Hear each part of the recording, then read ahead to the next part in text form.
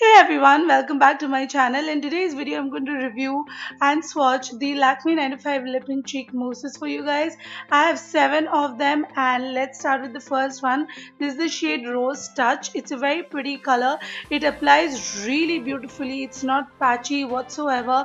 It's a mauvey, like a cool tone mauvey color with a hint of gray in it so on me it's more of an MLBB color but it has like a cool tone to it it's a very trendy shade and it's great to wear for office uh, it'll look very nice with formal wear and it's it's a nice color it pairs with all kinds of eye looks but it's not the most flattering color on me because I have a slight bit of a warmer skin tone so it clashes with my skin tone but it looks nice the next shade which is a blush velvet is probably the lightest shade of them all.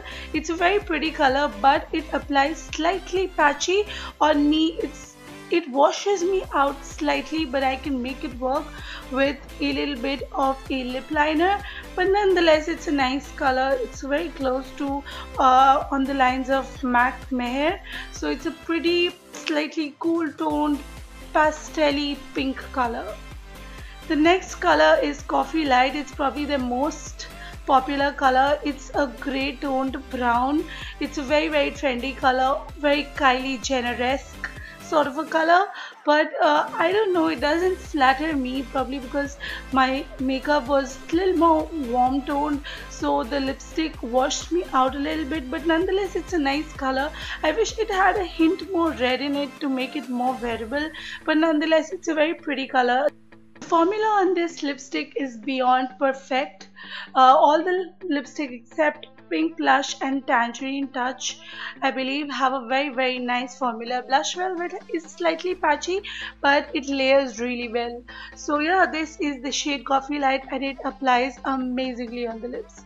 The next shade is pink plush. This is slightly patchy and doesn't give an opaque finish on the lips. Best for people with light to medium skin tone. It almost looks neon on camera but it's not even half bad in person. It looks pretty nice in person. Once it settles down and oxidizes a little bit it looks quite quite pretty in my opinion. This shade is perfect to be applied as a blush because it gives a slight bit of a pink flush to the skin the next shade is my favorite color. This is Plum Feather.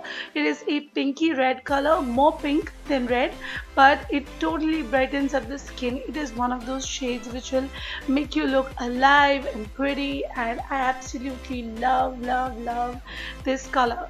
The only con about this lipstick is the packaging. Like I love the rose gold packaging going on, but it does not have a proper color coding to it, which is a very, very big con. You have to keep them inverted because the sticker on the back has the name but this font is so small that you have to like really go close to it and see it. So that's a big problem.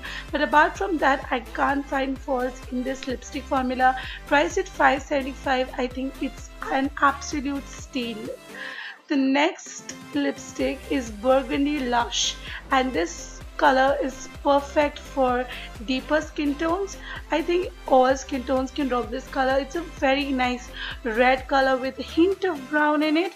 It's not burgundy but it's like a it's like a brownish red color a more wearable red color than the other one which is crimson silk. And this is how it looks on me. It looks really nice. It looks uh, but it's one of those reds which you can actually wear to work and look look very polished and it's great for all skin tones. The next color is Crimson Silk. This is a true red and it's on the lines of MAC Ruby Woo.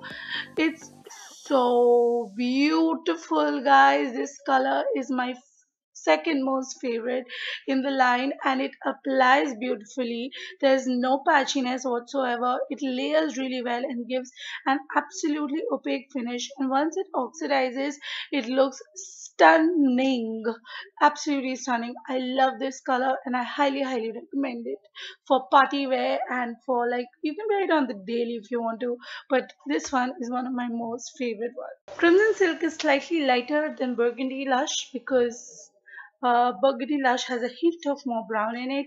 And here we have all the swatches from top to bottom. We have rose touch crimson silk plum feather burgundy lush coffee lite pink plush and the final one is blush velvet. For this i'm going to apply some uh, blush velvet. No this one is pink plush on the cheeks to see how it applies. And to my surprise it applied so beautifully. I wouldn't recommend applying it directly on the cheeks and blending it. Apply some on the back of your hand and then then apply it on your cheeks and it applies amazingly. Even though i had powder on my cheeks it applied beautifully. So yeah that's all i have for today. I'll see you soon. Till then take care. Bye